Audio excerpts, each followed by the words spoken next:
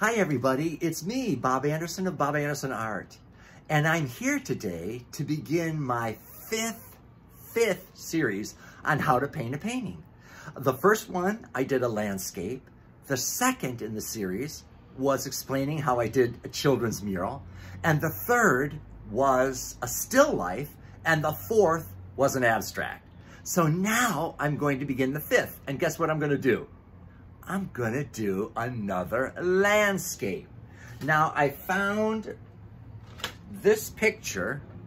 Oops, let me put that there safely. I found this great picture and I had it printed. I love it because of the sky and the beautiful mountains are all kind of like a deep fluorescenty blue. And then you have the all the greenery and the beautiful trees here and the, the sunset just setting right here and the light on the water. And, and, and I just think it looks so beautiful that I'm going to choose, I'm going to choose this one for the fifth series, landscape. Okay, so this, now I have a canvas here that I have made that is 24 by 30 inches, 24 inches high by 30 inches wide. Now, uh, this is actually proportionally a little longer, but in this case, I could take this image and reproduce it up to here and down to here.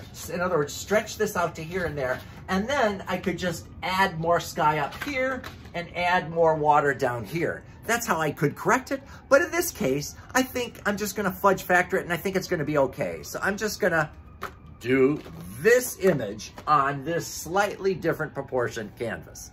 Okay, so what I'm gonna do first is if you look at this painting, you know, if you've seen my other uh, series, the first one I did on landscape, what you do is you start with the background first. So up here, I'm gonna paint from the top half, basically in this light uh, uh, whited out cerulean blue up here. I'm gonna paint that across the whole top. And then I'll put the clouds on and the sun and everything. And then I'll put the bluish mountains in front of it. And I'll move forward. Now the bottom half of this photograph, the image, I'm gonna paint in brown and black because behind the deep dark places at beneath everything on the lower half of this image, it's all brown and black. So I'm gonna take brown, I'm gonna take black, and I'm just gonna mix them together, black, or just put them on at the same time, black and brown and black and brown, and just kind of model it all the way across the bottom half of the, the painting in preparation for putting all this stuff on top. Have you got it? I hope so. Okay. So let's begin. I'm going to take a nice brush here, voila, and I have brown and black here side by side. And I'm just gonna start painting it on just to base out this lower half of the canvas. And like I said, beneath everything, underneath all the colors and the green and the, it's, it's brown and black, except for the water part. So I'm just gonna base it all out in brown and black, undulating between brown and black. And I'm gonna wrap around the corner, like I always tell you, I paint in gallery wrap paintings, so I wrap the image around the corner. So I'm gonna wrap that base right around the corner as well. Okay, there you go. So I'm just gonna paint this all across the bottom half to give us that nice base upon which we will paint all of the other things as we come forward. Okay, there we go. And as always, I hope you're all doing well and loving yourselves and loving life. Because that's the way it should be. There is absolutely no reason why you shouldn't be happy and proud of who you are right here, right today, exactly as you are, flaws and all. Okay, here we go. Just continuing with this, getting a nice brown black mottled kind of base here.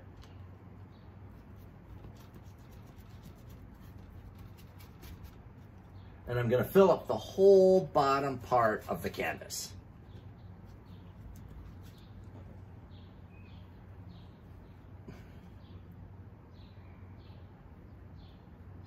So there we go. And I'm just gonna carry it right across. Right across. Ooh, it's moving. Mm. Okay, if that line's a little crooked, I'll straighten it out later.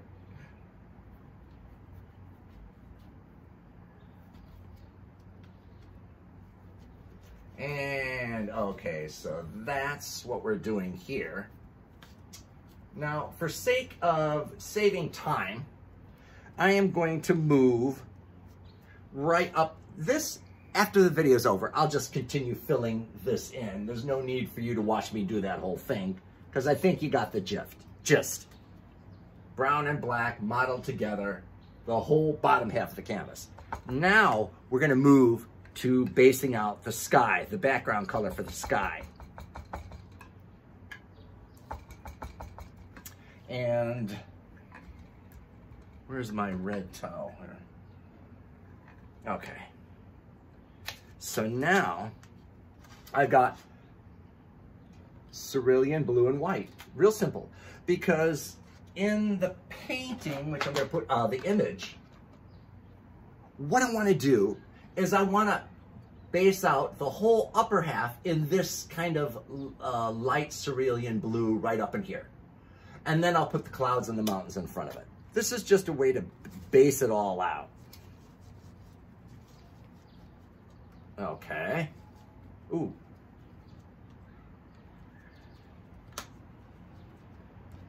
Okay. So I'm just to do it like this. Base out the whole top half in this sky color. Even that only, even though it only really exists right up in here, I'm to base out the whole top in it. It's a good, good base. And then, as I said, I can add the clouds and the colors and then the mountains on top. Because we're starting at the very back and moving forward. Because everything in the foreground is actually on top of the background. So that's why we always move.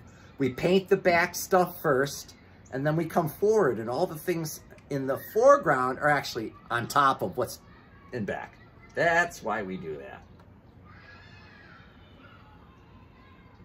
Okay, so just continuing on, putting a nice thick coat of this cerulean blue with white added to it to lighten it up.